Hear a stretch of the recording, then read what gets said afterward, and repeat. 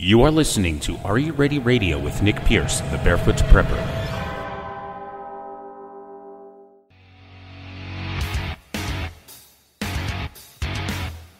Find Are You Ready on Facebook and Instagram at Are You Ready Radio. You can also visit our home on the web. Just go to nickpiercemedia.com and click on the program's link. If you missed the live show, you can listen to the show's archives on iTunes, iHeartRadio, Spotify, Google Podcasts, Castbox, Deezer, and many more, including our home on Spreaker.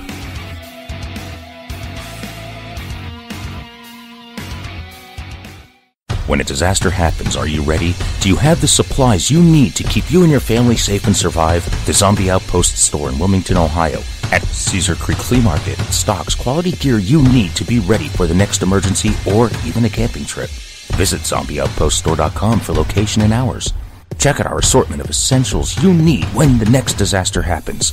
Go to zombieoutpoststore.com. Get 10% off at checkout when you mention Are You Ready Radio. Be ready and be prepared. In this digital society, making connections is quickly becoming a lost art form. Yet, if you are a small business owner, building your network is the only way you can get ahead. Can these skills be learned? You bet they can. Read Nose to Nose Networking. No nonsense, in person networking tips from a master. Who's the master? Well, who better to teach networking and friend building skills than a golden retriever? The author, Melanie Hope, takes the antics of Abigail and translates them into the human experience. Through Abby, you will learn how to set your intention, build a network, and get into and out of conversations with grace. If you love the Dog Abby segments on Counterculture Wise Radio, you will love Nose to Nose Networking even more. Find it on Amazon and Barnes & Noble in hard copy, Kindle, and Nook. Visit counterculturewise.com for direct links.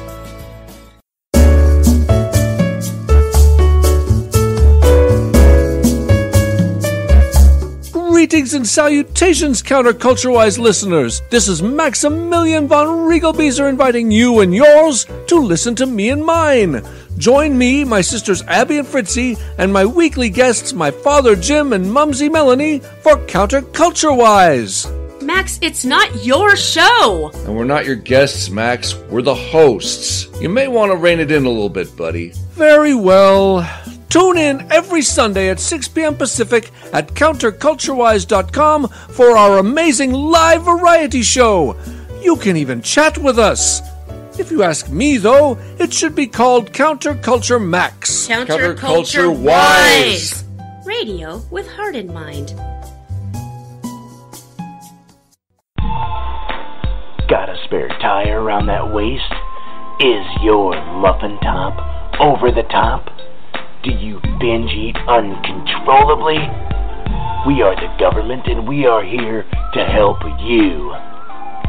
Here at our free FEMA weight loss camp, we have numerous ways to help you shed those unsightly, unwanted pounds. FEMA, or Fatties Eating Mitigated, automatically has a communist style weight loss czar that specializes in centralized weight loss planning and communal extended fasting programs to shed that fat away in no time. Skin and boned means extra tone is the motto. Just remember, there is no way you can do it on your own. We will forcefully assist you into compliance. Failure is not an option in this utopian wonderland. How fantastic! Typical workout regimes include digging ditches and restocking them with dirt, building railways, and more. Get life skills while you get lean. How do you join? Simple. Recite the Constitution in a public commons or violate the Patriot Act that includes simple misdemeanors. It's really that easy to get your own fenced in slice of Americana. Stop being a fatty. The state is your daddy. If you like what you are listening to, we appreciate your support. A small contribution from you, the listeners, can continue to help bring you such content and help keep things going here, even if it's just a dollar a month. Keep in mind, though, in the spirit of prepping, we believe in redundancy, so it's better to have more than one, but every little bit helps pay the bills. Go to nickpiercemedia.com and click on the Support the Show link. You can make a one time or monthly contribution in any dollar amount. And again, thank you for your support and listening. Are You Ready is an NP Media Group production and is the official broadcast of the Zombie Outpost in Wilmington, Ohio. The views and opinions expressed during this broadcast are those of the host and not that of the station, advertisers, or its affiliates. You are listening to Are You Ready Radio with Nick Pierce, the Barefoot Prepper. You never know when an emergency is going to happen. Disaster can strike at any time whether stuck on the road, riding out a power outage, escaping a natural disaster, or surviving a doomsday apocalypse, what would you do? No matter the scale, whether one hour or one year, will you survive? You're about to hear what it takes to be prepared. Now ask yourself Are you ready? Have you ever heard the term prepper? What comes to mind? Some of you may think it's a crazy guy with a bomb shelter and an old army truck parked on the front lawn. Well, prepper simply is a person who is ready for almost any emergency, small or large. It's no different than on a rainy day taking an umbrella with you when you leave your home or putting a coat on when it's cold outside. So maybe you think you're prepared for a brief time in that environment. But what if a few minutes turn into a day or even a year? I'm your host, Nick Pierce, the Barefoot Prepper, and I'm going to use my over 25 years of prepping and survival experience and knowledge in this program to help you and your family prepare to handle almost anything from a small event from a doomsday apocalypse. So get ready, because I'm prepared to enlighten you to seriously think, prepare, and answer the question Are you ready? And I want to hear anything you have to say about the subject, whatever you may have to offer. You see, it's important that we share our knowledge with each other, learn from each other, and help each other out. You see, the more prepared those around us are, the better your chances of survival will be when a disaster happens. Now, I'm sure everyone has heard the term zombies. Well, those are just those that are not prepared and come after whatever you have. Well, the call in number is 513 815 6336 if you want to be a part of the show. Again, that's 513 815 6336. Also, check out our live chat room on Spreaker. That's S P R E A K E R, Spreaker.com. Just go to the Are You Ready show, search it right there in the search bar. You can get there live through the website, nickpiercemedia.com. I post exclusive content on the home of Are You Ready on Facebook and on Instagram. Just go to Are You Ready Radio. You can interact with other members of the prepping community before, during, and after our broadcast. So share your knowledge. And again, if you want to call, the call in number is 513 815 6336. So in this episode, I'm changing it up a little bit. I am actually going to answer your uh, questions that you've sent in and uh, things that people have asked me. And one in particular, uh, there's been a lot about these active mass shooters, uh, mass uh, shooting situations lately, um, ever since the incident in Buffalo, of course, and there have been others throughout the country. Um, I was looking at statistics. There was actually, so far year to date, over 200 um, active shooter situations in public places uh, this year alone, 2022. So that was kind of odd. And I've discussed this before in previous broadcasts uh, when it comes to um, different things to be prepared for and what to do in a situation like that. And I'm going to cover that um, as one of the questions. I don't want to focus one episode strictly on that, though. Because uh, this this episode is about answering your questions mostly, and uh, I'm going to cover things such as uh, you know important barter items. Uh, was one question someone asked me. Uh, are you still going barefoot when the fit hits the shan? What books and videos do I recommend? Uh, what else? Uh, what's the most important piece of gear that I have? Um, what style martial arts do I prefer? Trapping, fishing, hunting, stuff like that. Of course, I have our prepper kitchen tip of the week, some prepping for pets, financial segment, and all that as well that we'll throw into the mix.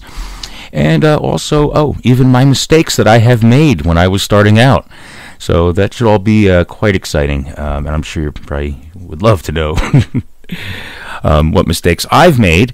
And, you know, probably everybody has made mistakes at some point when it comes to prepping. And I wouldn't necessarily say not just mistakes, but maybe just a little bit of, um, in hindsight, I wish I knew that then, I guess we could say.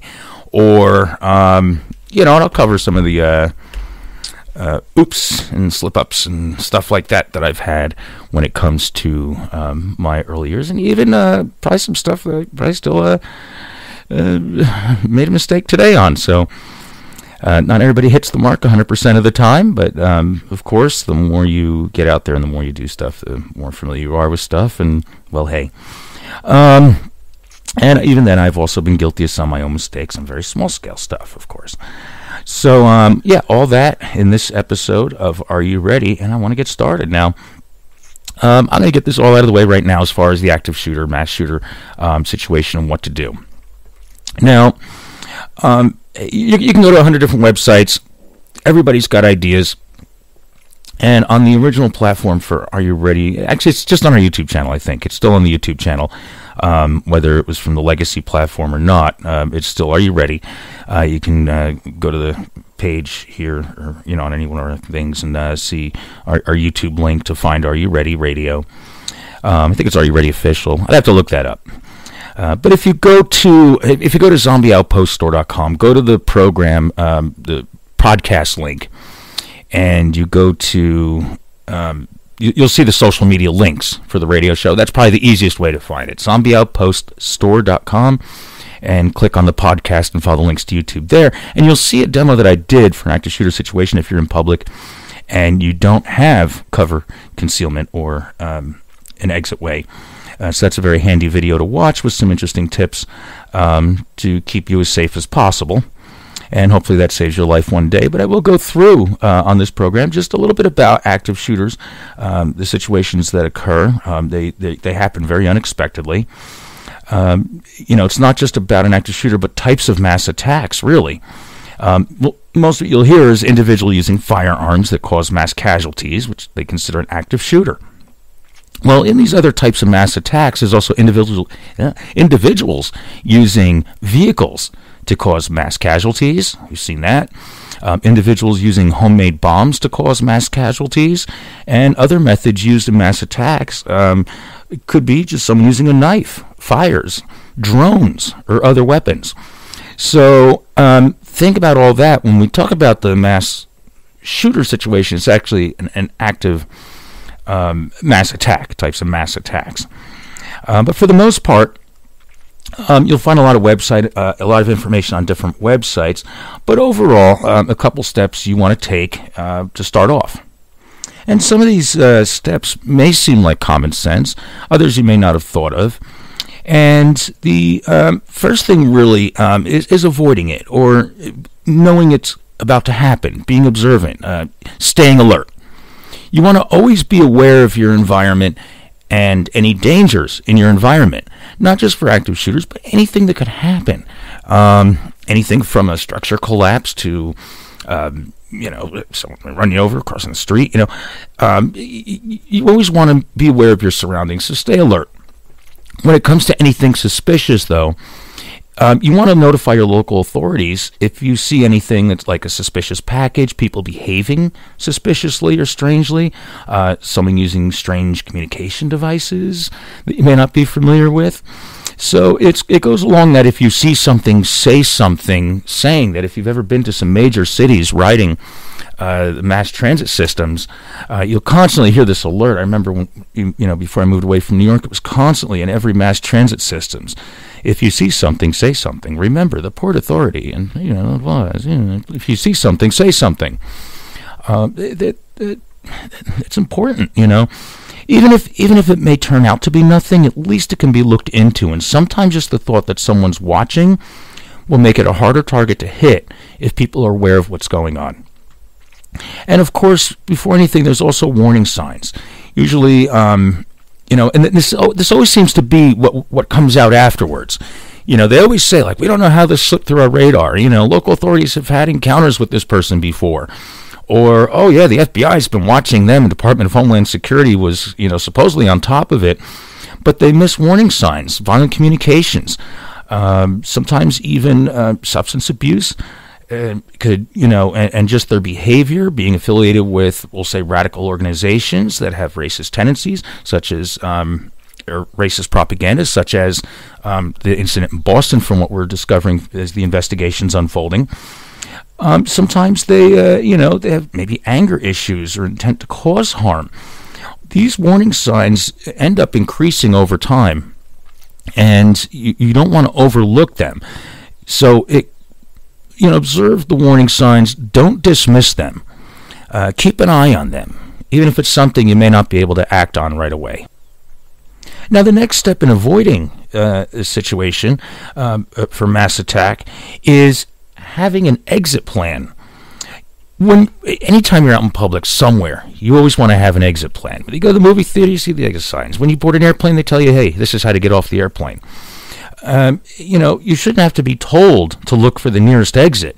You should always scan around, look for exits in any building, any facility, any restaurant, anything, any business that you're in.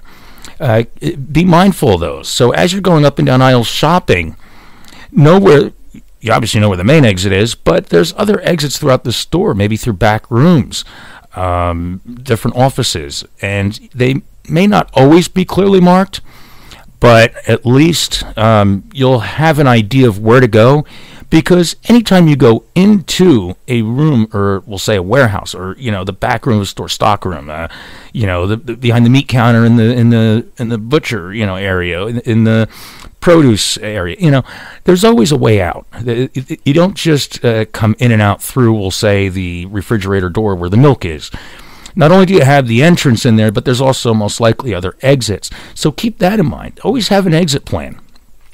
Um, and then, of course, learn life saving skills if you ever do need them. So things like first aid, CPR, even if just basic first aid, um, all those can be very helpful um, in the aftermath of an event to be able to help uh, folks before help arrives. So that's pretty much the um, what to do before, preparing before, and uh, you know, as far as in any situation that you're in. Now, during the event, during an active, um, you know, uh, shooter or mass attack situation, we'll say, um, you know, it, it, it it's always going to play out differently. You can't say what the best option is out of all the things that you could possibly do. You want to obviously, you know, people may want to play hero and and all that, but you're no good if you're not safe. So you're not going to be effective if you just sit there Wild West style and just start shooting back. Um, also, keep in mind you want to make sure that the actual person who is a threat and not others that may be defending themselves are also you, you want to be positive before you before you start firing off if you if you carry a firearm. Okay, seek safety. Uh, you know, assess the situation. Make sure you can possibly identify the threat, and um, seek safety. Get away from the attacker. Um, you know, is, is, number one priority. Don't worry about gathering things up. Like, don't worry about oh, your purse is on the chair, and you, you know, or you know, it, you know, you left your coat on the rack by the front door. Just get to safety. Run to safety. Leave your belongings behind and call 911 as soon as you can. You know, the more backup you get there, the better. Um, now, obviously, you can't just run away. If you can't run away from the whole event, maybe maybe you're in the you know a small restaurant. You're just sitting there in the middle. Uh, you want to seek cover, cover and hide. And there's a difference between hiding and cover. Okay, concealment versus cover. Now, if anybody's taken a, a firearms class or any kind of training in that matter, um, they'll always discuss the difference between cover and concealment. Concealment doesn't offer protection, we'll say, it just keeps you from being seen, noticed, or visible. Cover means that you're behind something solid enough that a bullet is not going to penetrate, that a vehicle is not going to run through. Uh, maybe if you're on the other side of a building and, and, we'll say a vehicle being used to mow down mass amounts of people, you're around the corner. Maybe they're not going to be able to run the, the, a, tr- a, truck or a car through an entire building just to get to you. That would be considered cover. It's also concealment. Cover will also hide you, but cover is more effective at keeping the threat from harming you, whatever it is. So you can cover and hide if you can't evacuate. And you should only stick around at cover and work, work on hiding if you can't evacuate. Uh, the, the mass attacks are made to take out people, and they're random. You, you don't know who the targets are in that particular attack. It could be everybody. In the case of the Boston shooting, uh, like I said, Boston Buffalo uh, shooting recently, uh, that was uh, attack on, against the African American community. Uh, that was racistly driven, from what the investigation is showing so far. Don't figure out if you're okay and you're not. You just take cover if you can't evacuate, and then, then if you can hide out of view of the attacker, eh, or put a solid barrier between uh, yourself and the and the threat if possible, that's great. Uh, then you're not a target. They're looking for people. Now, if you're in, we'll say rooms where uh, there's a um, you know you, you, have a door, an option to lock the door, like class, like a school, uh, office buildings, anything like that. Lock, close and lock the door. Close the blinds and turn off the lights. This way, you're, you're not notice. You're less noticeable, and stay quiet. Don't don't let anybody know you're in there until, of course, the situation's over. Law enforcement, rescue arrives, whatever the however the situation plays out. Then, of course, hey, I'm in here um, you know, identify where you are. And and I'll, I'll get to when help arrives because I was going to say when they do arrive, I'll, but I'll get into that in a second. Uh, I don't want to get too off track because if you can't run to safety, you can't cover and hide. Your last resort is fight. Fight only as a last resort. When you can't run for cover, when you can't escape the situation and run to safety, you want to attempt to disrupt the attack. Um, you know, or disable the attacker if you can. Be aggressive, and once you commit to it, you go through with it. There's no hesitation. If you can recruit others to help you, back you up, ambush the attacker, whatever it is, use makeshift weapons, chairs, fire extinguishers, scissors, book, anything you can. Um, I do a I do a video on the YouTube channel where I talk about alternate uh, self-defense devices, self-defense weapons, where I use everyday objects and explain certain things about them that can be used as in self-defense or even in this situation to attack and you know disrupt the the actions of someone causing a mass attack. And you want to be prepared. Once you commit to cause severe or lethal injury to the attacker now's not the time to be nice. Once you make that commitment you will do everything you can. You have to do everything you can to stop it or you are the closest. You are the next one that's going to die. Think of it that way. It's your life or theirs. And once you make the decision to disable them, stop them, disrupt them, or whatever, you have to go all the way. And of course, after that, then help any wounded. Now, uh, that brings me to when it comes to like, you know, when law enforcement shows up and all that, um, you want to be safe afterwards as well, okay? Now, you may, of course, maybe you have a concealed carry, maybe maybe you open carry, maybe you don't have a permit. It depends on where, where in the country you live. Sometimes you're not you're not required to have a, uh, a firearms license. And if you um, when law enforcement shows up, you don't want them to mistake you for the threat. So remain calm, follow any instructions, keep your hands visible and empty. Even if you have a pair of scissors in your hand that you were going to use to you know, take down the attacker. When, when they show up and they're giving orders and they're giving commands and they're giving instruction, follow them. And as long as your life is not in danger by the attacker still, keep your hands empty and visible. Okay? Um, report to any areas that you need to report to to provide information. A lot of times they'll set up um, areas where they'll have uh, detectives and and uh, agents, uh, law enforcement, just wherever they tell you to go to provide whatever information they want, or get help, go to that area. Follow any instructions that law enforcement gives you in either evacuating, if they if they don't evacuating, um, go in the opposite direction they're coming from because they had to come in from somewhere. If you're not familiar with where you are, uh, sometimes you may be in an office building or a, a, a, facility that you've never been in before. You're not familiar with it. Um, the direction that they're coming from is where the direction is you can get out. Um, but listen to any information about the situation that they share with you. Um, share any updates, um, eh, you know, as well with any family and friends when you're when you're able to. If especially if they think that you've been there, they they know that you're in that area or whatever. Make sure they know you're okay. Um, you don't want to have them come down, or you know, you don't want people coming to the scene to check on you. You know, just you know, just let them know you're okay and you'll get home. That's really the gist of a mass attack situation and what to do for that. Now, of course, we are running out of time. That music means we're coming up to our first break. Um, we're going to take it now, real quick, and I will be right back. I'm Nick Pierce, the Barefoot Prepper. You are listening to Are You Ready? I'm answering more of your questions in this episode coming up um, after we get back. Stick around.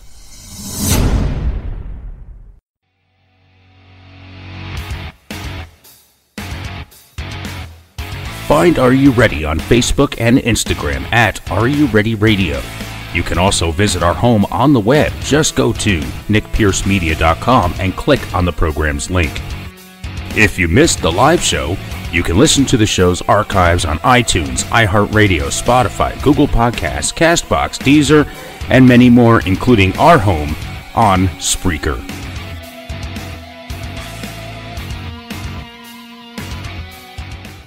When a disaster happens, are you ready? Do you have the supplies you need to keep you and your family safe and survive? The Zombie Outpost store in Wilmington, Ohio, at Caesar Creek Flea Market, stocks quality gear you need to be ready for the next emergency or even a camping trip.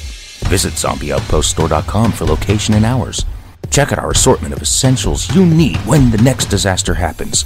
Go to zombieoutpoststore.com. Get 10% off at checkout when you mention Are You Ready Radio. Be ready and be prepared.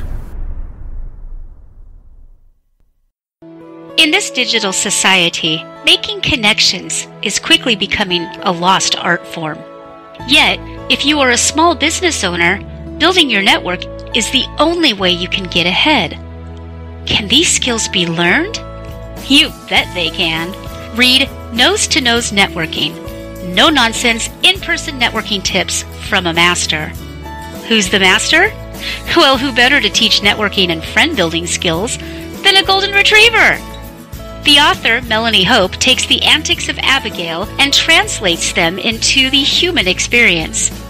Through Abby, you will learn how to set your intention, build a network, and get into and out of conversations with grace.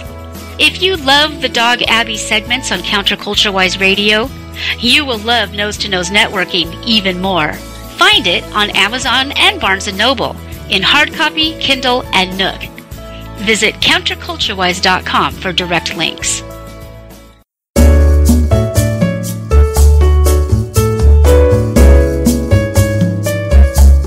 Greetings and salutations, counterculture-wise listeners. This is Maximilian von Riegelbieser inviting you and yours to listen to me and mine. Join me, my sisters Abby and Fritzy, and my weekly guests, my father Jim and Mumsy Melanie, for Counterculture-wise. Max, it's not your show. And we're not your guests, Max. We're the hosts. You may want to rein it in a little bit, buddy. Very well. Tune in every Sunday at 6 p.m. Pacific at counterculturewise.com for our amazing live variety show. You can even chat with us. If you ask me, though, it should be called Counterculture Max. Counterculture Wise. Radio with heart in mind. Got a spare tire around that waist? Is your muffin top over the top? Do you binge eat uncontrollably? We are the government and we are here to help you. Here at our free FEMA weight loss camp, we have numerous ways to help you shed those unsightly, unwanted pounds.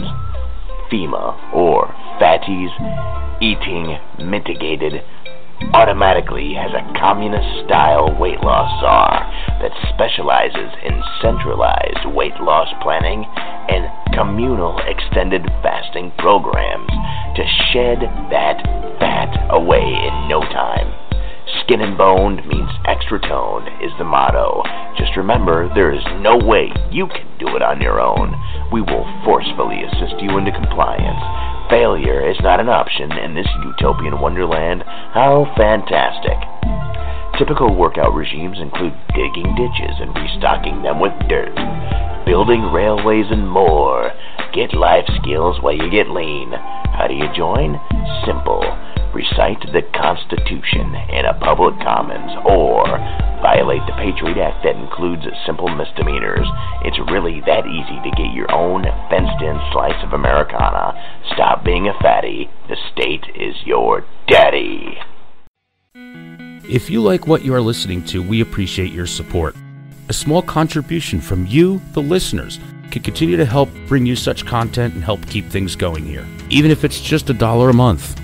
Keep in mind, though, in the spirit of prepping, we believe in redundancy, so it's better to have more than one, but every little bit helps pay the bills. Go to nickpiercemedia.com and click on the Support the Show link. You can make a one time or monthly contribution in any dollar amount. And again, thank you for your support and listening. You are listening to Are You Ready Radio with Nick Pierce, the Barefoot Prepper.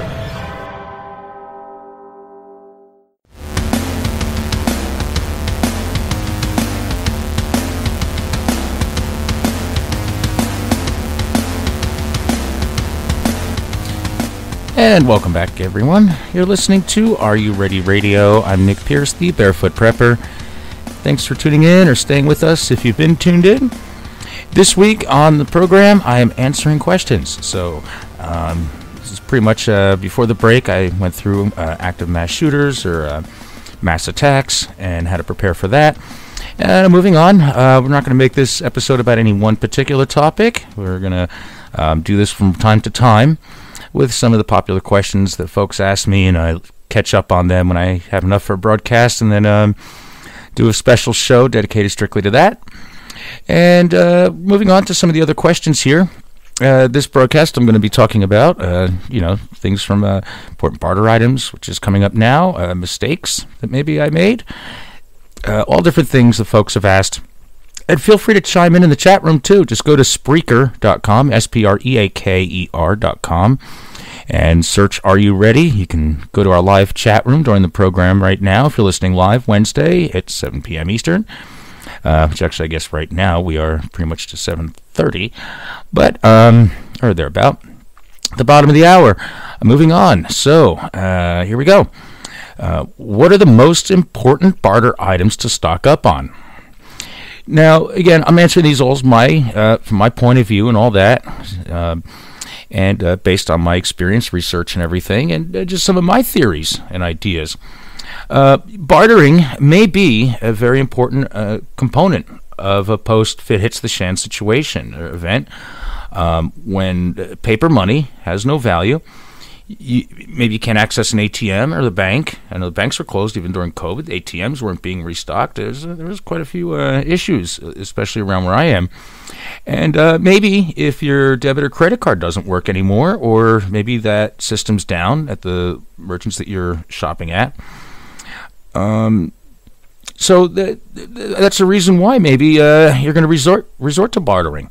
Uh, some folks had stuff that um, other folks didn't, uh, especially during the pandemic, and uh, bartering uh, really helped people get certain things that they need that either weren't available because of shortages and limitations, and um, you know, uh, sometimes someone had something that's just as valuable to them that they didn't have. So uh, to do a trade or barter uh, ha- has been done. Uh, it's uh, barter's been used a lot in the past, and you know the other school of thought is not not just maybe if paper money's no good, but just because the government says a dollar bill is worth a dollar, really, who says it really is?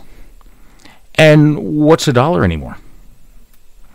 Uh, so, most importantly, what happens to that dollar when the government is gone? Now, most folks here in the U.S., we're not too worried about that. But an item is only as valuable as the material it's made from, or uh, the use you can get out of it anyway. Uh, so, um, you know, now the dollar even can't be used to get what you used to use it to get because you can't get much from it due to the rising cost uh, and inflation. And most of us may still be making the same, if not less, than we were before the value of the dollar decreased. Not just here in the U.S. alone. So, you know, it's kind of one of those things that, you know, uh, bartering uh, will have uh, will, will, will be very useful, and having items to barter with uh, that maybe you may not need or maybe you have an excess of is great. And you always see a lot of this. Again, these this is my opinion. You always see um, websites and articles and, and, posts and, and all kinds of stuff in research says, here's the stuff you want to stockpile to barter. Well, anything. You want to have items that are valuable to others in order to, to, to get items that you may need, maybe that your family will need. There's stuff that you would normally buy if you don't have them. So the list of items to stock up on to barter with can go on forever. I mean, what's valuable? You know, you're the saying, one man's trash is another man's treasure. So I'm going to share the items that I would not have to barter. Um, I, I wouldn't really bother having uh, to try to barter with them, I guess we could say. So this is what I would not have. And of course, people are going to disagree with this, but everybody has their own plan and their own reasons. And you're asking me these questions; these are my answers. So, and I'd like to hear, um, you know, point, counterpoint, pros, cons, right, wrong. Um, I want to hear your opinions and where you stand on it. So, uh, of course, you know, chime in in the chat room if you'd like. Uh, coins. Coins are not much better than paper currency, and you always hear, you know, you see people say, "Oh, have uh, have coins. Keep keep coins around." You know, coins are just like paper money. Very few people will be able to turn them into usable materials, and most people won't want to waste the resources needed to process them anyway. So, yeah, okay, you have a bunch of copper pennies. Well, how much copper is really in a penny? You know, if you need copper, how are you going to process that to make copper, to make wire, to make anything? Um, you you know, and I I get arguments on this point, but the same goes for gold and other precious metals. Okay? You know, people say, yeah, dollar's not going to be worth anything, but gold will always be valuable. Silver will always be valuable. Gold and silver and precious metals and gems and all this. Well,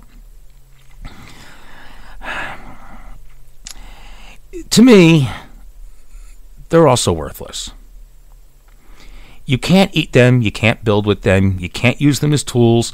Precious metals and gems are mostly ornamental items with no intrinsic value, especially to nomadic people or survivalists, for that matter. Okay? Because um, if you want to stockpile gold and silver chains, you know, in the hopes that um, maybe each little link might be worth something when the fit hits the shan, go ahead.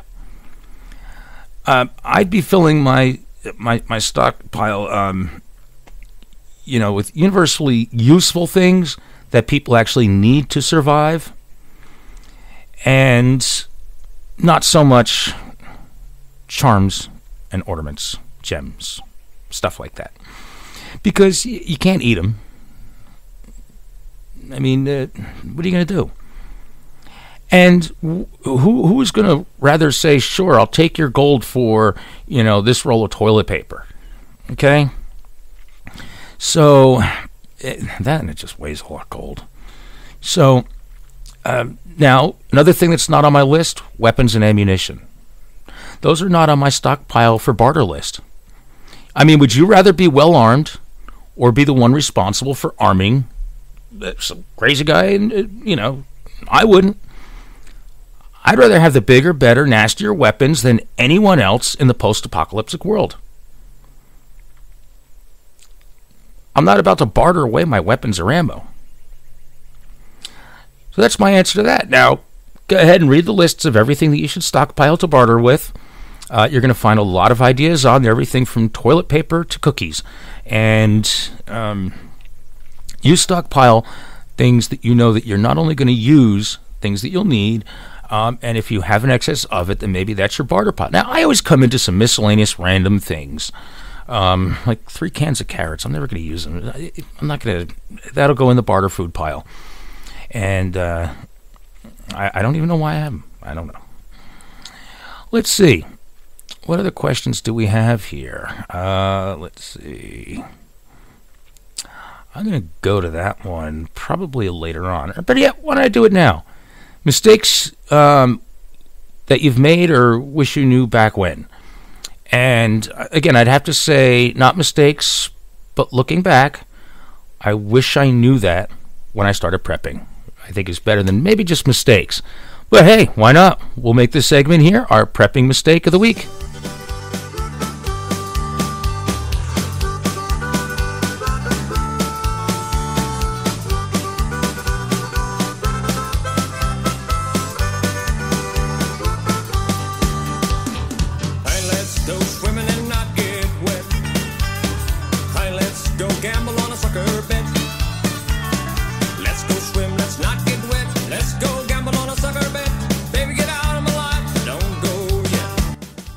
So the question, as it was asked to me, was, "What mistakes have you made when you were starting to prep?"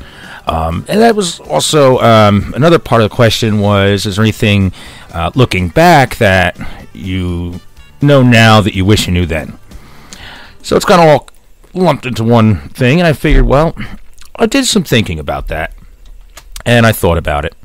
Now, as far as um, I guess mistakes when I when I was thinking about it, I'd have to say maybe building my preps based on panic and not doing enough research before buying. Uh, that was, I think, one of my big ones when I look back at it, because I, you know, I figured I really need to get my stuff together. You know, there was a point uh, many many years ago where I said, okay, I um, I, I know what I had when I was in the Boy Scouts. I don't have some of that anymore. So let me uh, you know, go out and get all that stuff again. And then, uh, I mean, minus the uniform and all that, of course. And, uh, but mostly the gear that I probably didn't have in the backpack. I wanted one just like the one I had in Scouts and, and all that. And, and, uh, I was ready. I thought I was. Really did. I thought I was ready. And I thought about how practical some of this was did some research on some scenarios. You know, the internet really wasn't around the way it was now. So it's kind of you got to do a lot of researching and you got to really talk to people and you got to find the right people to talk to and you got to hope that the people once you find them are willing to talk to you. So let's face it. I mean, there was no Facebook groups. There was no Facebook. Uh, MySpace was probably just coming out. No, this was even way before MySpace. I don't remember MySpace. That came out years later. Um, the internet was still in its early, early years. So not a whole wealth of information. If it was there, it was hard to find. Search engines really didn't work the way they did, so you really had to spend a lot of time someplace that had a good computer that was connected to the internet to really find a lot of the information. So, um, I eventually figured, you know, well, I should take all this gear, go out and create scenarios that I was thinking would happen, and see if I have the right gear. And it really turns out it's like, eh, when I look at other stuff on the market, there's better stuff since things have evolved and developed. Um, some stuff it was I really don't need, and I had it now. So, over the course of a few years, there was a lot of trial and error. So, I would have to say that my mistake would be building up my uh, my gear, my, my, my supplies, and uh, not doing enough research before buying. Because I ended up having to spend more money then, and then the backpack was just not right for what I wanted, and it was just. Anyway, uh, another thing, when I was thinking about it, is not talking about it for years, which in turn limited my network. Now, that kind of is what maybe took me so long, or maybe I wasn't talking to the right people, or not. Maybe I was, and just not talking about what I was planning or going to do and what I wanted to do when it came to prepping. So maybe that's what led me to buying some of the stuff that I thought I really needed and I really didn't, and then needing to get other stuff. And because I, I wasn't talking to other people, and again, it wasn't like there's like some online forum uh, group page, um, some social media, anything back then. So. Uh, you really don't know who the like-minded people are because at the same time a lot of them aren't talking about what they're really doing when it comes to this so it was kind of hard and that also really limited my network at the very beginning because I couldn't know or do everything. So it was important to have a network of people that were good at certain things that you were not. Um, especially back way back in the days when it came to firearms and all that. I mean, I had a rifle, BB gun, you know, I played the rifle in Boy Scouts, and that was about it uh, grew up in Jersey. You don't, you know, especially 20 minutes right outside of Manhattan and going back and forth to New York City. You don't have that. You don't have access to that. You don't, you can't have that. So it wasn't until I moved out to Ohio when I was able to really expand my network um, when it came to folks with firearms and stuff. And then, uh, you know, eventually I'm pretty proficient now. I, you know, probably nowhere near as good as some folks, but uh, I know some people that can build their own guns. I, am not there. But uh, I expanded my network eventually, which helped me um, in being more successful prepping. Uh, not just when it comes to gear, but what to get, what to stockpile, what to use, and certain um, the certain way of doing it, the right way. And that's what I'm always talking to you about is helping you do it the right way and avoiding the mistakes that I've made in the past and teaching you what I've learned. Um, kind of where it goes along with like survival meals, you know? I'm like, I'm going to be a prepper. I'm going to make sure I'm ready. And I wanted all this MRE freeze dried food stuff. And I'm like, yeah, now I'm set because I had 12 of those meals. Mm hmm. And there was a power outage once. I had a whole bunch of food, but I'm just like, ooh, I'm going to use one of my survival meals and play the powers out forever, even though it came on like within five minutes. But, um, you know, not really storing what I would really eat. I'd walk around the food store and be like, ah, someone told me about beans. I need to get those beans. And they sat around until I moved out of that place that I was living in at the time.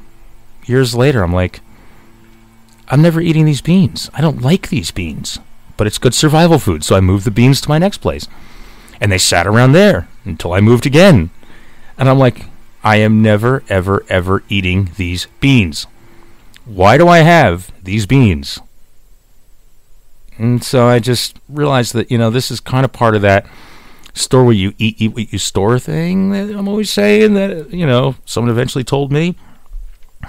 And then also, I'd have to say, hmm.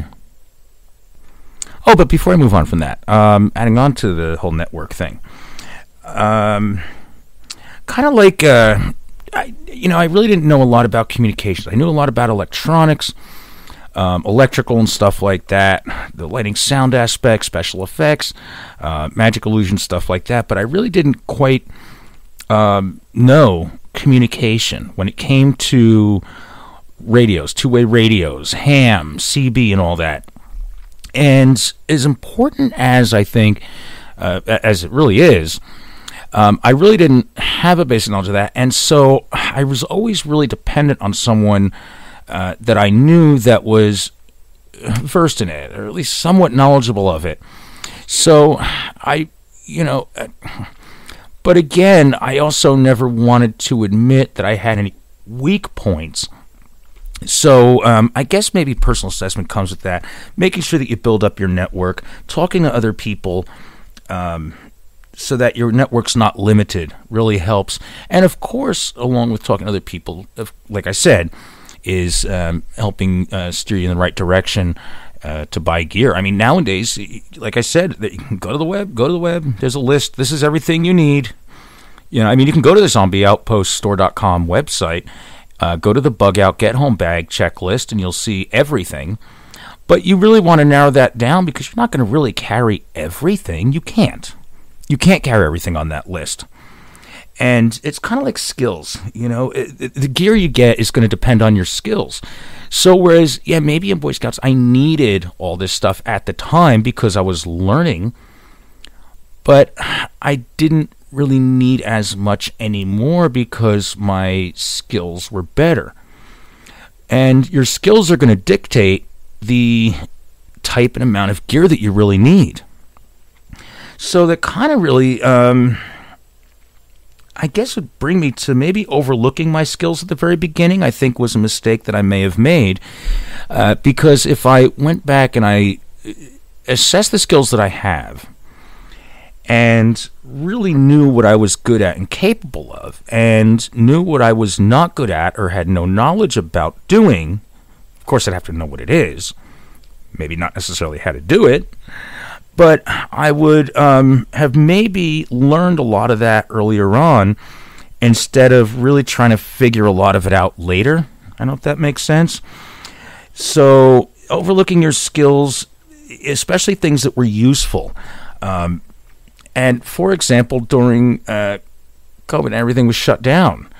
There were certain things that I'm like, I've seen people make stuff like this, or I've seen people just build something like that, you know, and it's so easy. You know, I know you know you know people that can do it, but they they don't. Um, when you go to do it, you just don't have the skills to do it or you're really trying to watch a lot of videos and read up on it to figure out exactly how to do it and uh, the end product is not as good as what you were expecting because you kind of ignored learning some of those skills. For example, I wanted to um, do like a shelving thing in this one closet, and that was eh, it came out okay. Um, but um, leather working, I've been trying to get a scabbard made for my one sword, and I wanted a really nice leather scabbard made. And so it wasn't until months later where I'm finally you know, I'm able to talk to the right person, and really kind of tell me a little bit about it and stuff like that. And, you know, in exchange for his information, I, you know, helped him out with something. So that's the barter part right, right there. We're talking about bartering. But then, uh, you know, it was also kind of one of those things that, you know, I finally sat down to do it and I figured out what I need in the tools. And it's kind of like, you know, I, I wanted to own my own tools to be able to do it. Or a couple other projects I think I wanted to do. So that was something that I, uh, you know, started diving into, and I'm I'm, I'm all right at it. Not great, but um, but yeah, that's the uh, gist of some of the mistakes. Or I wish I knew that before. Um, another mistake, I guess one of the biggest mistakes I made was. Um, I always kind of talk about this one uh, when it comes to the bug out and get home bag episode is buying the bag before the gear because now I had this backpack and re-going going back and reconfiguring and figuring out what I really wanted and needed and stuff like that turned into a um, kind of like a uh, you know I really need a different bag. I, I really didn't need this big of a bag on the frame and all this. It's like I wanted something a little different, a little smaller. So again, assessing your skills, the gear that you really need, and the um, you know, then then the equipment, then you buy the bag. Uh, that was one of my mistakes, along with not storing what I would eat and eating what I would store when it came to food storage. I think those must have been my two big mistakes um, when it when it comes to uh, the actual mistakes. But overall, everything was kind of like one of those. I wish I knew that when I started. That's my, I guess, the uh, the uh, prepping mistake of the week in that segment right there, or my mistakes. Uh, let me hear what you have. Chime it in the chat room. Our chat room's open. Just go to Spreaker.com.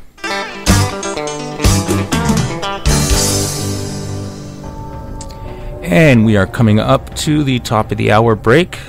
I'm Nick Pierce, the Barefoot Prepper. You're listening to Are You Ready? This week I'm answering your questions. Chime it in the chat room if you have any. And I have more coming up after this brief timeout. I'll be right back.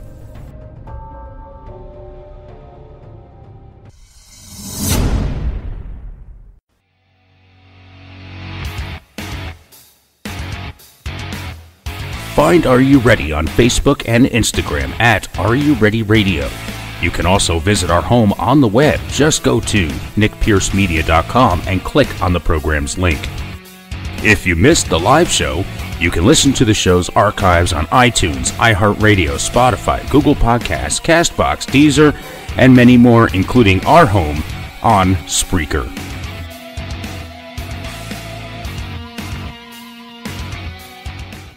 When a disaster happens, are you ready? Do you have the supplies you need to keep you and your family safe and survive? The Zombie Outpost store in Wilmington, Ohio At Caesar Creek Flea Market stocks quality gear you need to be ready for the next emergency or even a camping trip. Visit zombieoutpoststore.com for location and hours. Check out our assortment of essentials you need when the next disaster happens. Go to zombieoutpoststore.com. Get 10% off at checkout when you mention Are You Ready Radio. Be ready and prepared. In this digital society, making connections is quickly becoming a lost art form. Yet, if you are a small business owner, building your network is the only way you can get ahead. Can these skills be learned? You bet they can. Read Nose to Nose Networking No nonsense, in person networking tips from a master. Who's the master? Well, who better to teach networking and friend building skills than a golden retriever? The author, Melanie Hope, takes the antics of Abigail and translates them into the human experience.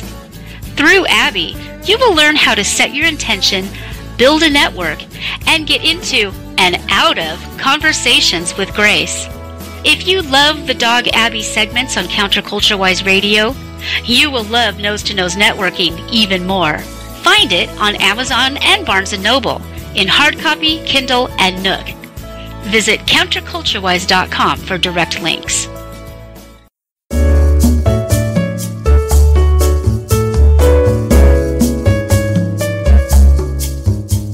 Hey, how you doing? This is Magic Pierce inviting you and yours to listen to some good friends of mine that have a show too. Did you really think my daddy is the only one that just runs his mouth all the time and that's the only thing I listen to? no, it's not. I got a show I listen to on Sundays. Join host Max and his co-host, uh, my hottie Fritzy, and of course my good friend Abby on Counterculture Wise Sundays at 6 p.m. Pacific, 9 Eastern. They have their own human guests, Melanie and Jim, each week. They don't meow a lot, but you get what they're saying. Now let me tell you, you have to go to counterculturewise.com. Use your paws to play with the mouse and scroll down to the on the air button on the right to hear their show. Just click on that. After that, watch them on Periscope like I do. Daddy gives me a little mouse to play with, and I get farts the whole time. It's a great show. Check it out. Counterculturewise.com. If you don't tune in, I get cuckoos on you. Thank you so much for that ringing endorsement, Magic. It warms the orange hearts of me and Abby and the grey heart of Fritzy to hear you say such amazing things about our show. I'm pretty sure that Mumsy and Father have pink hearts, so we will assume their hearts are warmed too. Yeah, forget about it. I got you guys. Good peoples.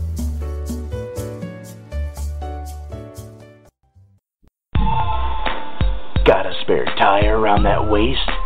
Is your muffin top over the top? Do you binge eat uncontrollably? We are the government and we are here to help you. Here at our free FEMA weight loss camp, we have numerous ways to help you shed those unsightly, unwanted pounds.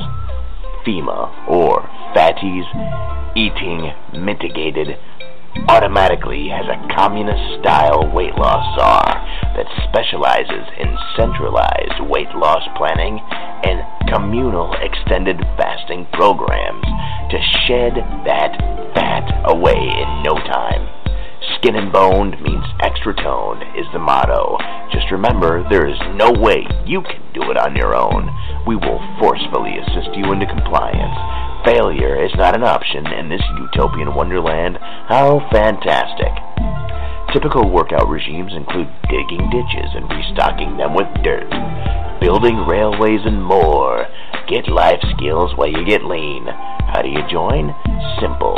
Recite the Constitution in a public commons or violate the Patriot Act that includes simple misdemeanors. It's really that easy to get your own fenced in slice of Americana. Stop being a fatty. The state is your daddy. If you like what you are listening to, we appreciate your support. A small contribution from you, the listeners, can continue to help bring you such content and help keep things going here, even if it's just a dollar a month.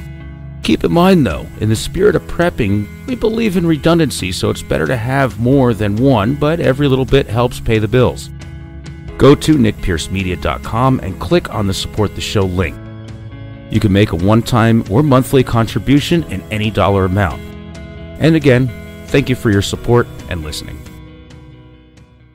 You are listening to Are You Ready Radio with Nick Pierce, the Barefoot Prepper.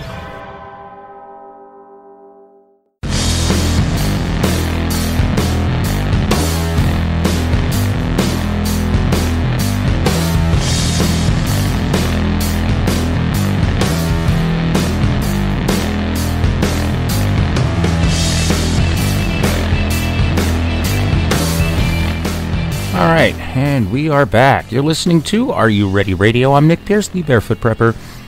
This wonderful Wednesday evening with you. Just rounded our first hour, and this week I am answering questions. This is a little Q and A uh, episode. I'm going to do one of these every once in a while, so send your questions in. I like answering them. Before the break, I discussed the um, what is it? Uh, important items, uh, barter items.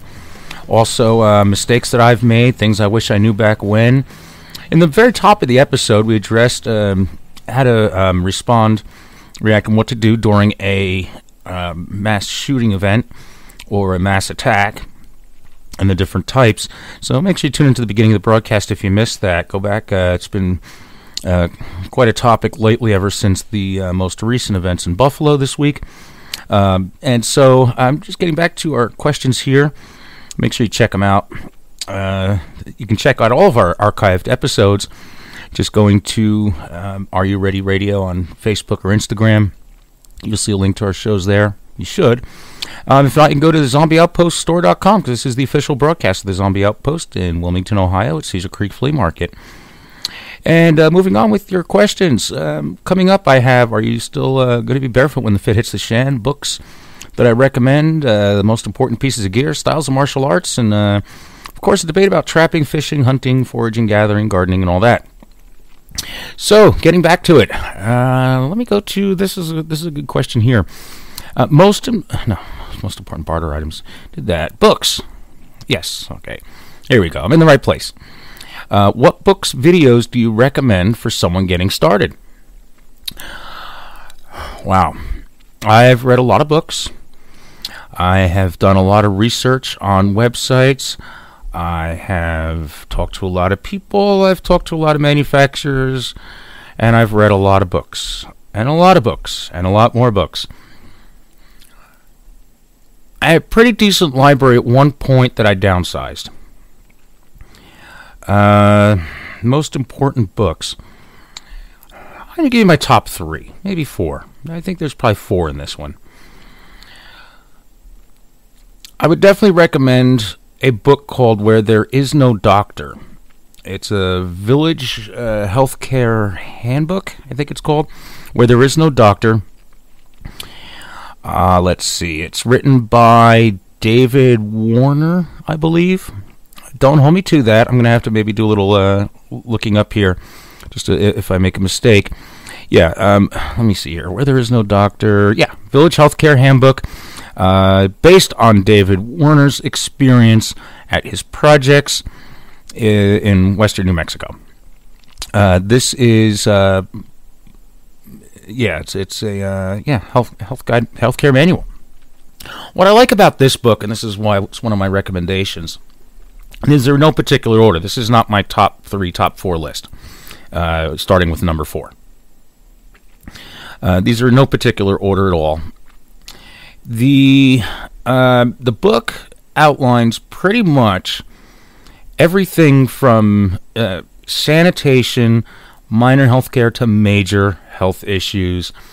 Uh, the newer edition even deals with um, a lot of different. Um, oh, what was it? AIDS is in there now. HIV. Um, I'd have to go back through and see exactly what was added. It's a big book. It is a huge book. Now, I recommend, though, I think it's like a thousand, maybe two thousand pages. It's up there. Uh, very thorough, though. Uh, so, where you don't have access to hospitals, uh, this is very off grid and very thorough, very handy. So, Uh, I would definitely recommend, of course, you may give it a good read, read through it, but always have it handy as reference because there's so much in there that you're going to miss reading it, and you're you're going to need it as a reference. Uh, it's very detailed and very thorough. It pretty much addresses almost everything. Now, um, I have um, I I have all these in a PDF format. You can download the book, from what I understand, in sections, but I do have the full PDF. And um, if you have, and I probably discussed this in previous episodes, when it comes to books in your library, in your prepper library, I know I did it in the um, the original relaunch series with my co-host Sophie Prince. We discussed our prepper library, and I also have, I believe, a YouTube video about it. If it's still out there, it may be. And if you um, check out that episode. Um, I believe it's called the Prepper Library, if it's still available to listen to um, from the previous relaunch uh, years ago.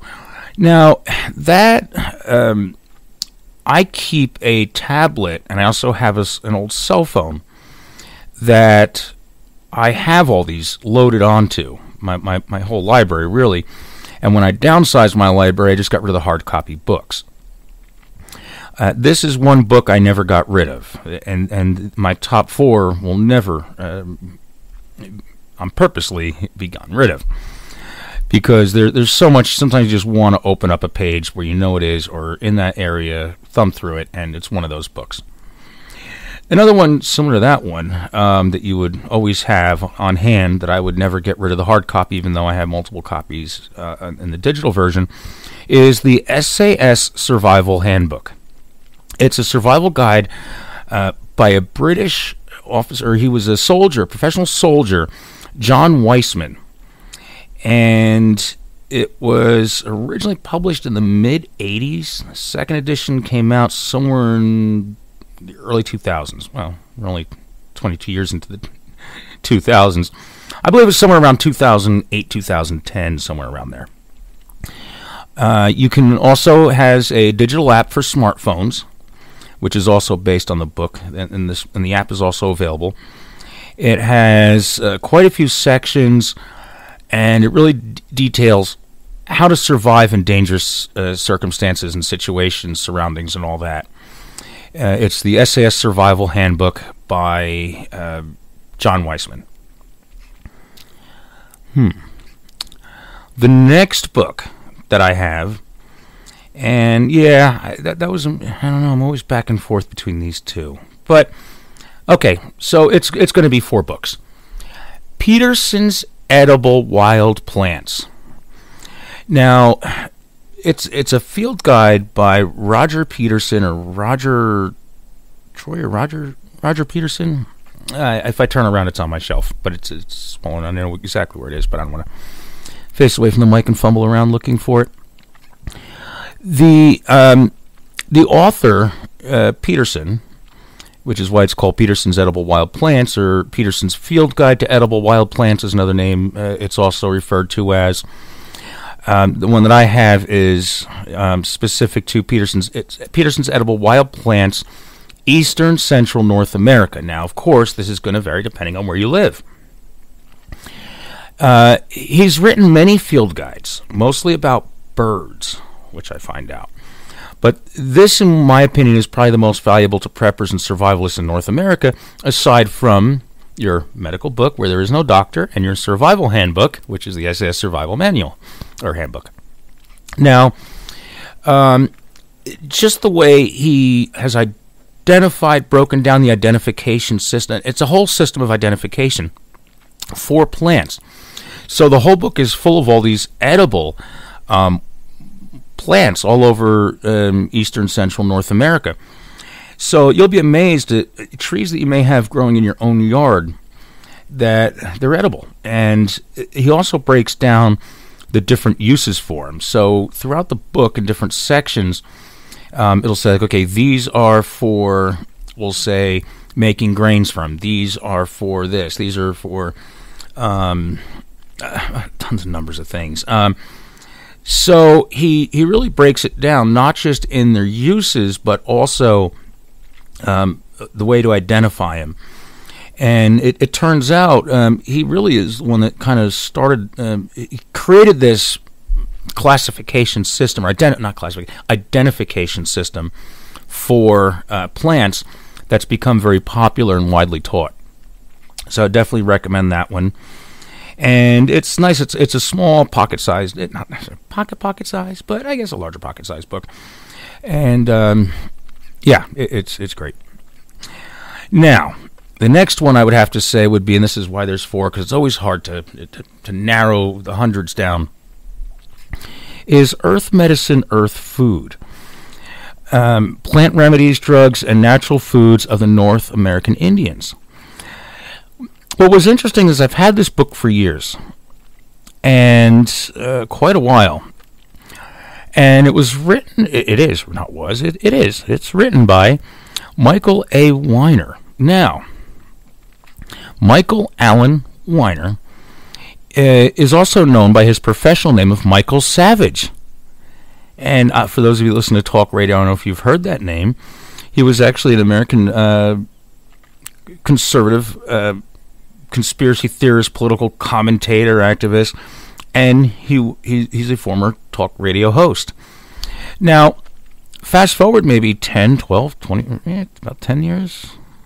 Uh, maybe about, yeah, about five to ten years, somewhere after I bought the book, and it was part of my collection and one of my go-tos that I would say, okay, these are the most important ones of what I have so far. Made my top picks many years ago. All of a sudden, there's this radio show on on the station that I listen to with other uh, talk radio hosts, and he's on there later at night around nine o'clock, and I'm like, "Ooh, that's pretty cool. I like this guy." Well, he started talking about the book Earth Medicine that he wrote. So I look at the cover, and I'm like, it doesn't say Michael Savage. Turns out that Michael Savage is his professional name that he uses, but Michael Allen Weiner is his real name. Turns out he's really a PhD uh, from. He was originally born and raised and all that in, in New York. Because I remember before I even connected the two, when he started talking about Earth Medicine and Food, he had a he would read sometimes a chapter, an excerpt from his book Psychological Nudity, which I ended up getting and I liked it and stories. Tippy the dog is a funny one if you ever pick that book up. I'm not endorsed by any of these authors or any of these publishers or anything like that. This is just my pick, and he, he also wrote another great book, nothing to do with prepping or anything. It's about his stories, him and his dad and his dog and all this. So, yeah, he was really a, a, a he had, he has a PhD, and he specialized in nutritional ethnomedicine. Now, ethnomedicine is the study uh, or the comparison of, I guess, traditional medicines based on the compounds in the plant, like the biological active, bi- bioactive, there it is, bioactive compounds in plants and animals. And it's typically practiced by indigenous people, especially those with less access to Western medicine. So it's also known as ethnomedicine, is also referred to as traditional medicine. So that kind of fits in not just with our edible wild guide to plants, but also with our where there is no doctor category. So you pretty much have a broad range covered there with those four books. Those are my four recommendations. So um, make sure you check those out. And let's see. Another question someone asked is Oh, this would be perfect for our prepping kitchen tip of the week. Burp burp burp burp burp burp burp burp burp burp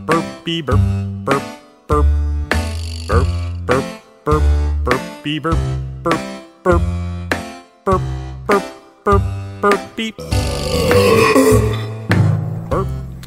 so uh, here's the question. There it is. Okay. The most important thing. Oh, what is the most important thing in your prepper kitchen? Oh, okay. Well, um,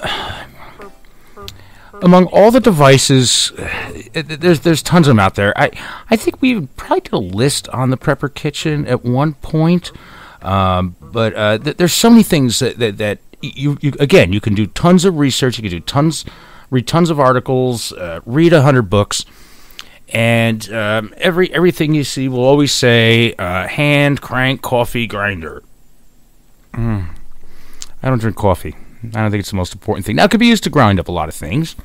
I mean, if it can grind coffee beans, maybe you can make uh, flour out of it. But oh, the French press coffee maker. Uh, that's a very popular one on the list because when there's no power and all this cast iron cookware to cook in, it's good. Now, that's actually a, a tip that I used a couple weeks ago. Of course, can openers, not electric ones, but manual ones. Uh, like those little P51, P38 ones are great. Hand crank ones, of course. A whole set of butchering tools, knife sharpening sets, honing oil, all kinds of stuff, canning equipment. You know, when you look at some of these lists and everything, they go on and on and on forever. The hand grain mill. Uh, what else? Uh, oh, the manual meat grinder. Yeah, because everybody needs chopped meat. I mean, hey, survival situation, just be glad you have meat. Uh, let's see, hand crank sifters. Go to the toy store and get one of those uh, little sand sifters that come with all the other toys. You'll have more fun using it for other things too. I mean, you could build a whole flower castle, or dirt castle, a mud castle, a zombie castle. Get the whole set of sand toys, the moles and everything. Uh, stainless steel everything. Yeah, mortar and pestle. pestle. Uh, you know, okay, a lot of these are great.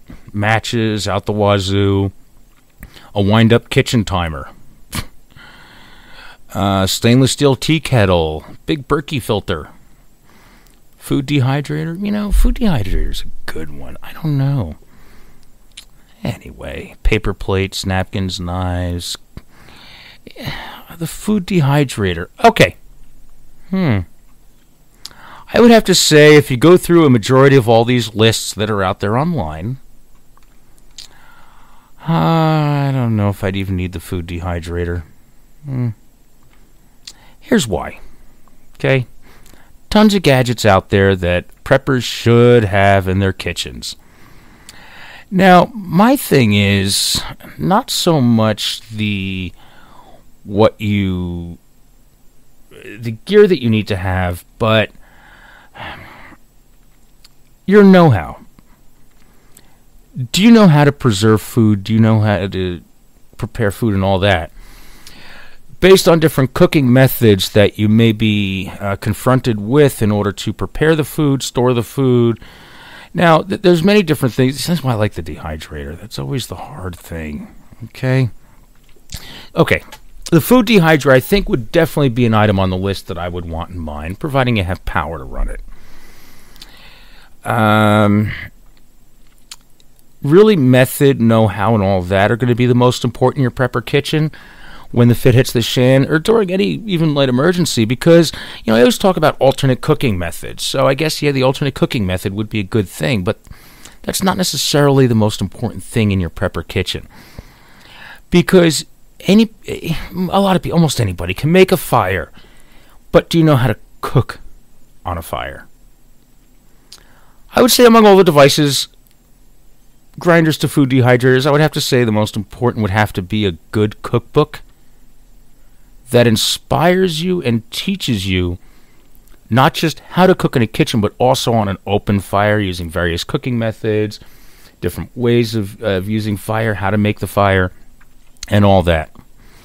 I would have to say that that is pretty much the. Oh! Oh, shameless plug here.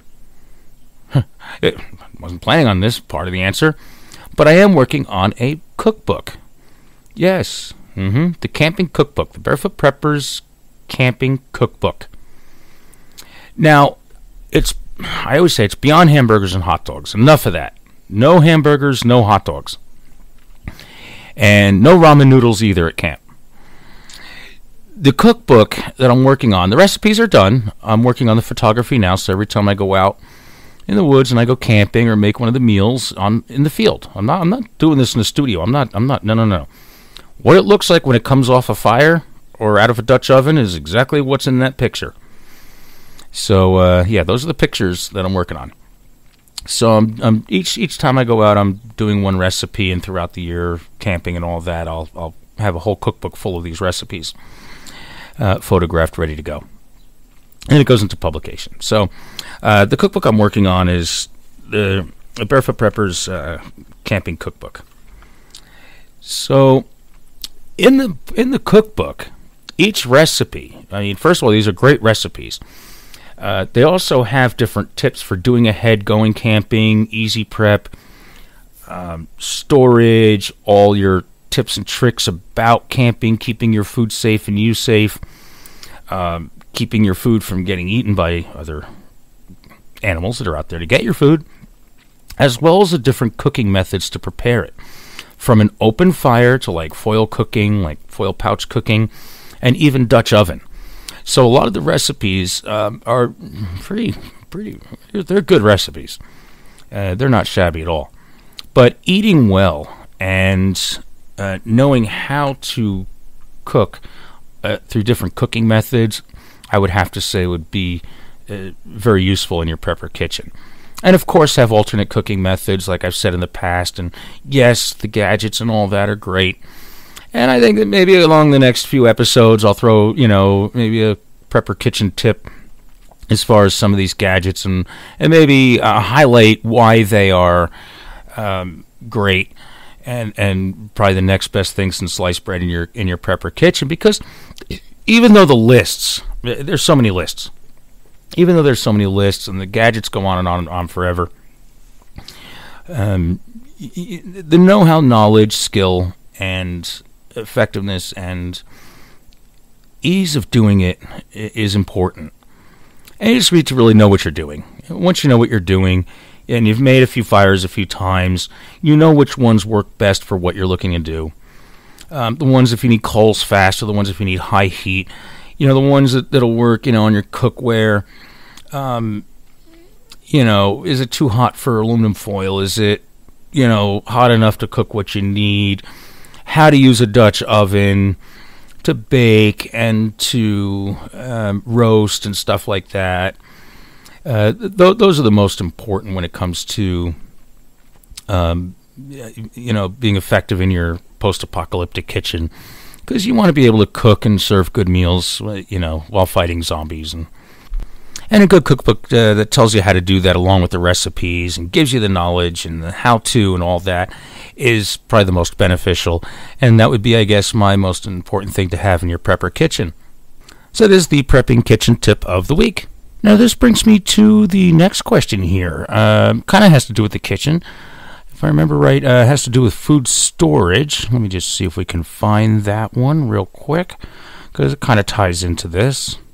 Uh, where'd it go? Uh, there we go. What mistakes should I avoid when buying survival food? Uh, in the program in the past, I've mentioned this a number of different times um, as far as the food that you buy that you're going to stockpile. Now, I always say that you want to first of all store what you eat, eat, store what you eat, eat what you store.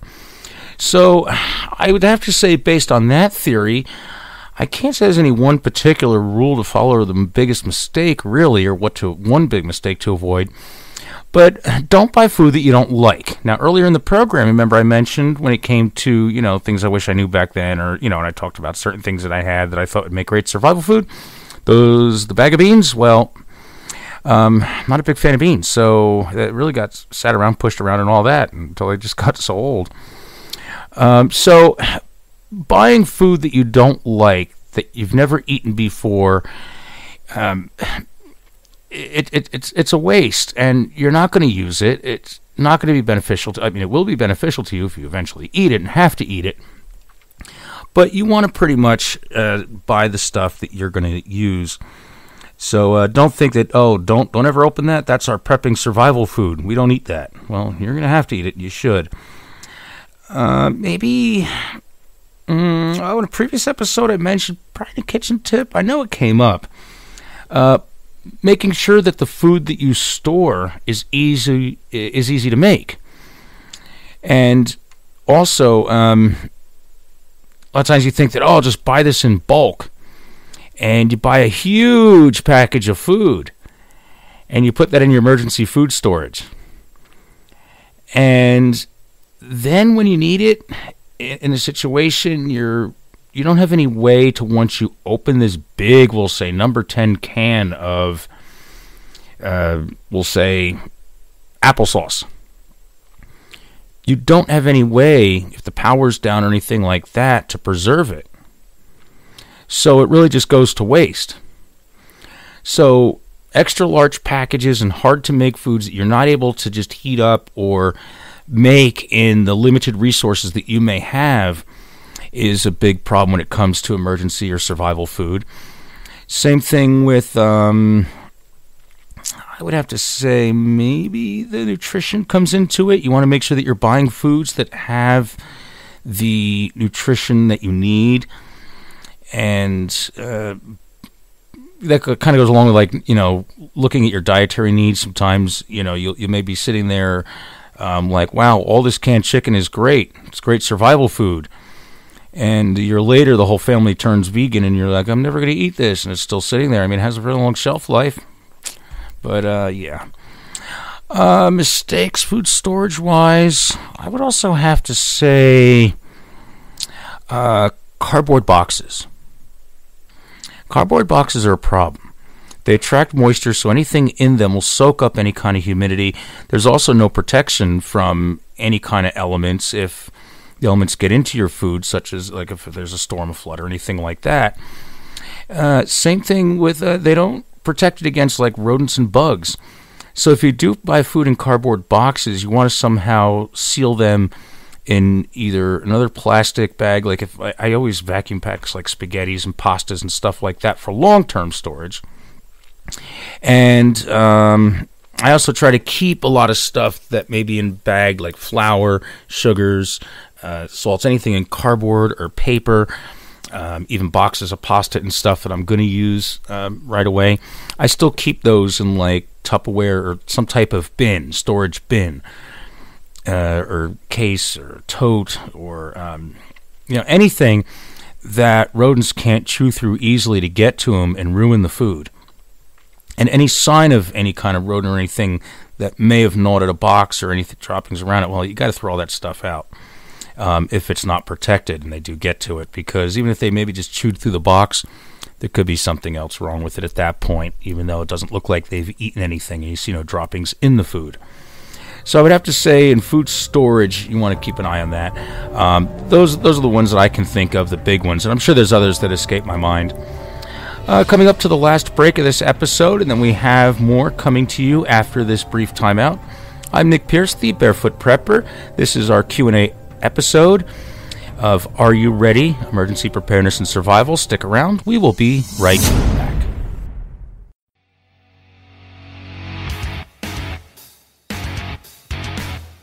Find Are You Ready on Facebook and Instagram at Are You Ready Radio. You can also visit our home on the web. Just go to nickpiercemedia.com and click on the program's link. If you missed the live show, you can listen to the show's archives on iTunes, iHeartRadio, Spotify, Google Podcasts, Castbox, Deezer, and many more, including our home on Spreaker.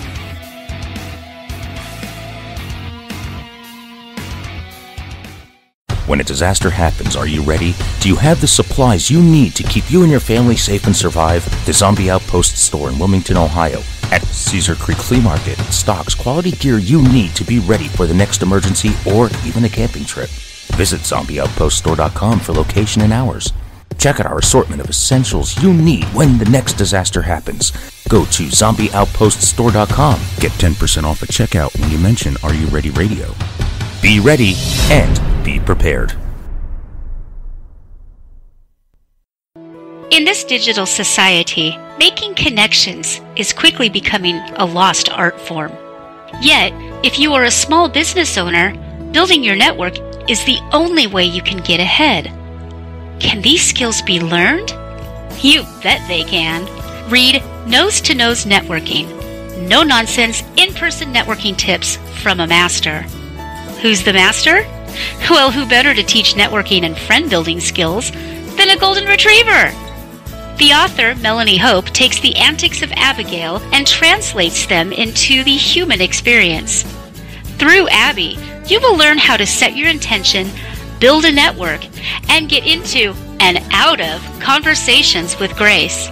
If you love the Dog Abby segments on Counterculture Wise Radio, you will love Nose to Nose Networking even more. Find it on Amazon and Barnes & Noble in hard copy, Kindle, and Nook. Visit counterculturewise.com for direct links.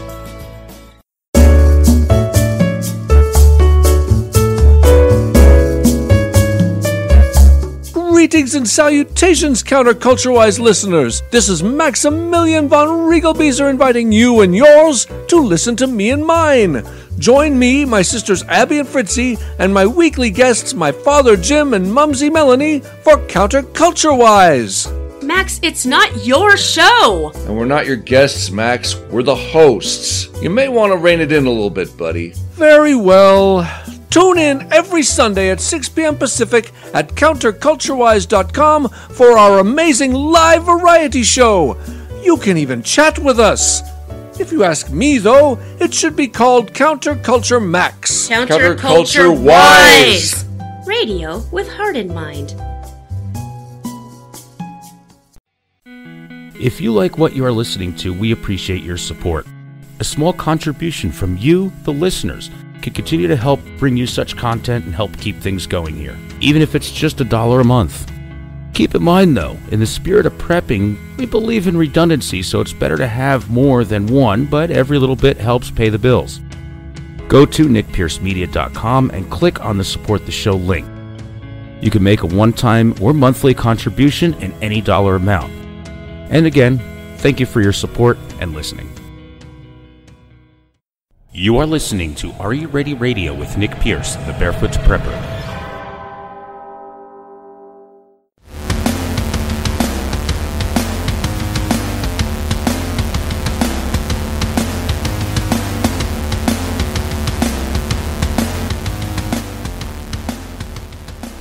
And welcome back to Are You Ready? Emergency Preparedness and Survival Radio with me, Nick Pierce, the Barefoot Prepper, and answering your Q&As this week. Coming down to the last half hour, I still have enough time to squeeze a few of these in and hope we don't run out of time. I want to get to all these. So, I'm going to hurry up and move on with them. Uh, this is a great question. Um, what is the most important piece of gear that you have? How long have you had it? And where can I get it? Everybody wants all the cool stuff. Yeah, well, it's not really a piece of gear that you can buy or that you can go out and get.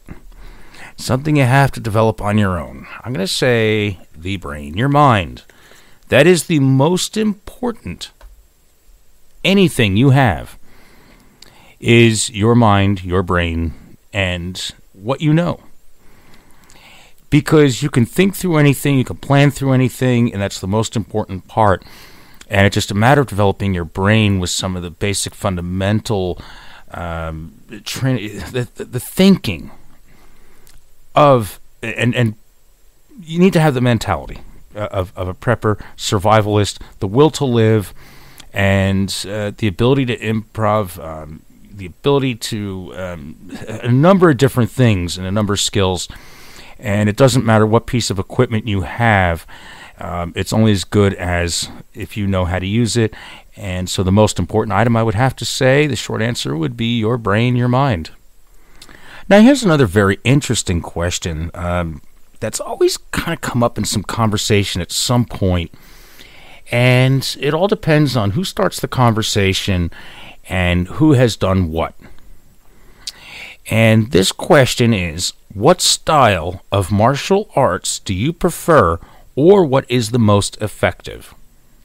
And here we go. Uh, you know, it, it, it's personal preference. It's what form of martial arts are you able to do and that you're the most effective in is really the question because it's not up to what form of martial arts is more effective, it's how effective you are using it. So the style really doesn't matter. Um, of course, uh, there's some, you know, uh, martial arts out there that I can't even say are martial arts. They're more like dancing, but it's it's more for show and it's more of an art form than it is developed for the purposes of actual self defense, combat fighting, or anything like that.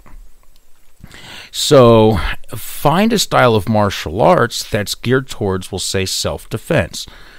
And you want a style of martial arts that you're physically capable of doing. Uh, you want a style of martial arts that's going to teach you techniques that you're easily able to deploy when needed. And I had an interesting conversation with someone um, at the Zombie Outpost the other day and we're talking about a certain disarming things and uh, tactics and techniques, and he was saying, you know, the Israeli uh, disarming thing, it's really made to, you know, be aware of like people beyond, you know, your threat and other people that may be involved around you and all that. And they had this very effective move. And really, the way to execute is by learning some of the basics in that form of the Israeli martial arts that they've trained and learned for a long time and are very proficient in before they can actually execute this move. Whereas other moves that both of us knew were um, based on his style of fighting and my style of training. And so it was kind of one of those things where it, neither one of them is most effective, and which one would I prefer? I prefer something that's extremely useful and highly effective. What's the most effective? Well, anything that you can actually do. Neither one of us, we, we, I've seen the, I've seen the technique, and he's seen the technique, and he's tried to do it, and he's very good at what he does, and so am I when it comes to my style of martial arts. But when it comes to this one technique, I said, we're not going to do that. Even if we do learn that, we're not trained. We haven't trained doing that. And we're always going to revert back to something we're more comfortable with, which would be based on our own styles and our own disciplines of what we studied. That, that, that was that. Because it's so true. I could learn a new technique based on another form of martial arts, and when it really comes down to when I really have to use it, you can't have any hesitation or question. You need to be able to fluently, accurately, and effectively use it. So if there's any doubt, it's not for you. Therefore, it would not be effective. So I would probably always, probably, whether I learn how to do that move really well or not, I think when it really depended on it, I would still revert back to something that my training that I'm familiar with, that I'm fluid in, uh, I would use a maneuver based on that, not something that I've never actually used in real life that I just learned.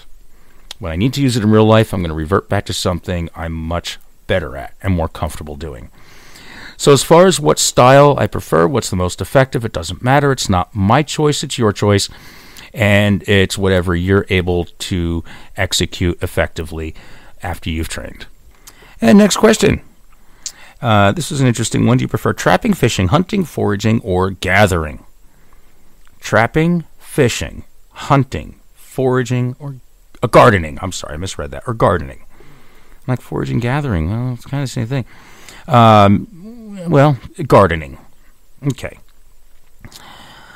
Uh, my answer, neither. Honestly, neither would be my forte. Of course. Oh, uh, you're going to starve during the apocalypse.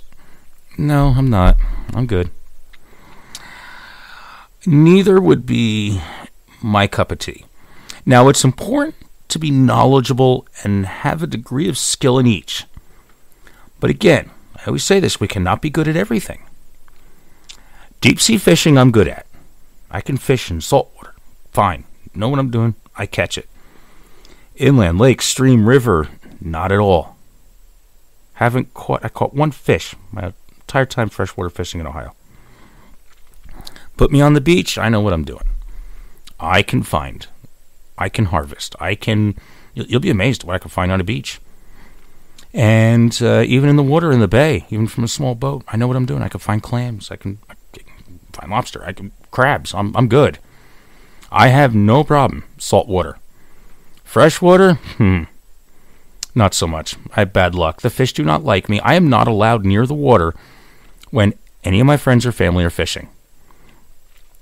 So I'm not going to catch anything, and I scare them away. My job is to leave that area alone.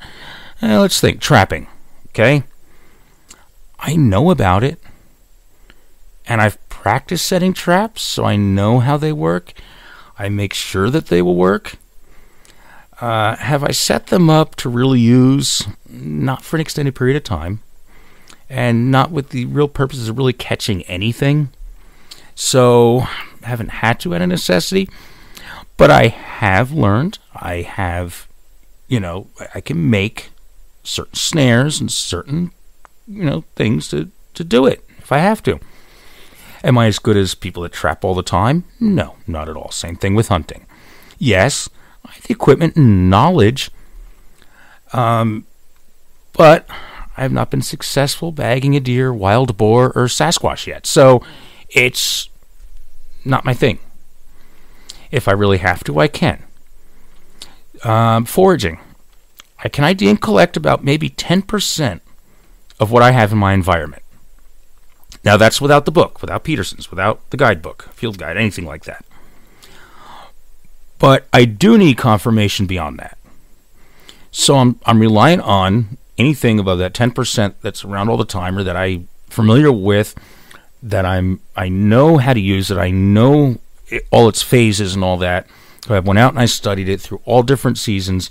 And so about 10% of what's in my environment, I'm that familiar with where I can just look at it, pick it, know it, eat it, prep it, whatever I have to do.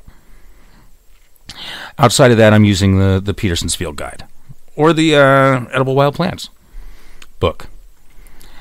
As far as gardening, I don't know if you've heard the story about the pepper plant. My neighbor, I started dabbling in gardening years ago, and I wasn't doing that well, but there was a plant that was growing really well, and as far as I know, he, he's a green thumb. Does a lot of landscaping. He did property man. He, he knows his stuff. He's, he's he knows his gardening. He knows his plants. He knows his landscaping and all that. And so uh, we were cooking out one night, and I said, "Hey Dan," I said, "Is this one of those pepper plants I planted?" He goes, "You bet it is."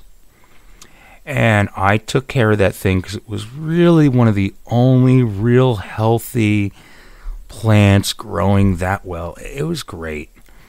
And I would water this thing and I took care of it. And I was waiting for peppers and waiting for peppers and waiting for peppers. And then August rolls around. He goes, Oh, they'll be coming up by the end of the month.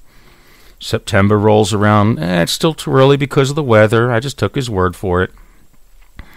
Plant's starting not to look too good. We've started to get a little cold nights and you know, I'd take care of it and cover it and nurse this thing. And I wanted peppers, and I'm waiting for peppers, and there were never any peppers. Finally, the winter came and it died off, and I was very upset. I was distraught. My pepper plant, it didn't make it, but I'm going to try again next year. He had me going all summer. That was not a pepper plant, it was nothing but a weed. Very sad. I was very disappointed. I will still I'm still plotting my revenge to this day on that one. And I will get him good. Oh, I will get him good. It's going to take a while. It's going to happen when he's least expecting it. He's also older, so I got to hurry up and do this as well. But I'm going to get back at him for that pepper plant. I have planted gardens though, successfully in the past. And uh, I do okay with that. It's not bad. I- I'm getting better. So you think, really? I'm really going to starve to death based on all that. If I can't forage, I can't trap. I'm terrible at fishing in fresh water.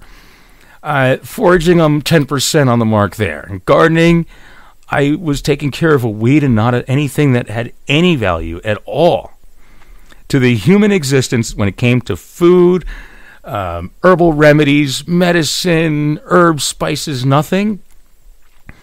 What kind of a prepper survivalist am I? Well, I have built my network. Uh, my network. Excuse me.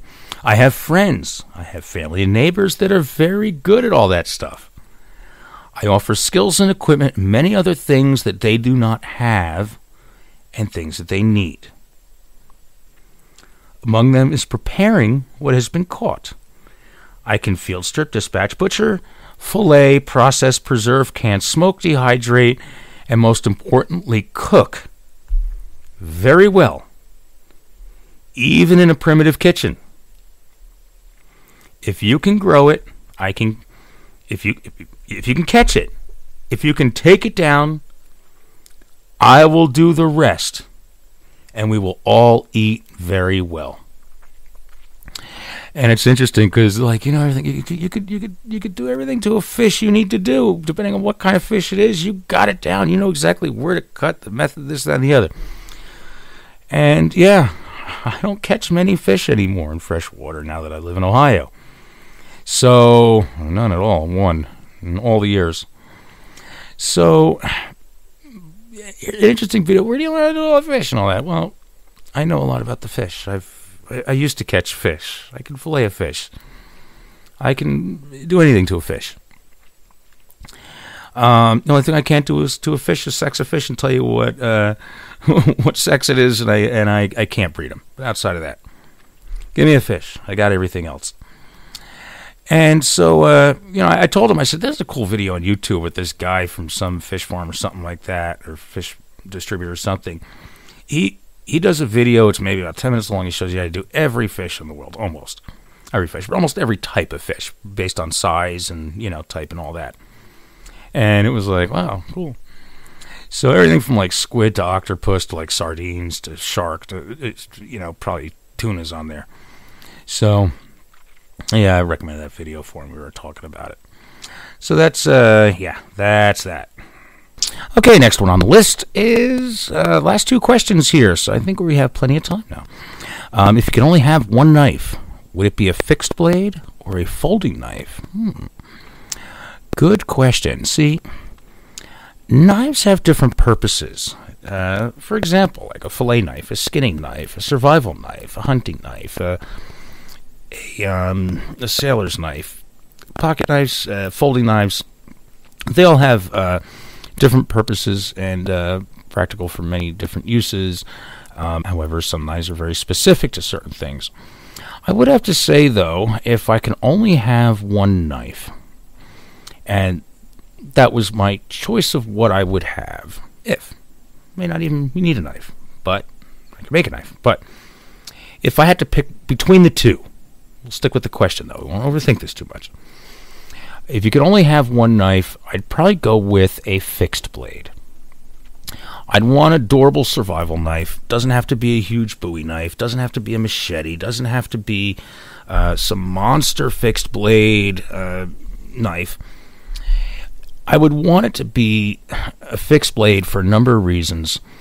It would have to be small enough to use close quarter self defense, um, easy to carry, not too big, easy to maneuver has decent reach though, but is also very rugged and durable to be able to use for many different purposes.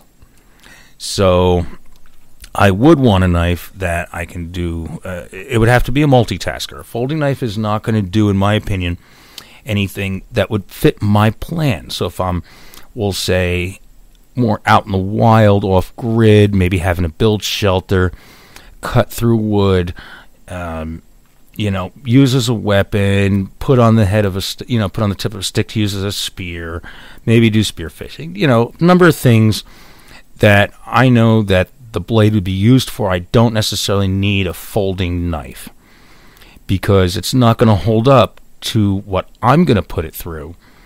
And if I could only have one, I would have to say a fixed blade.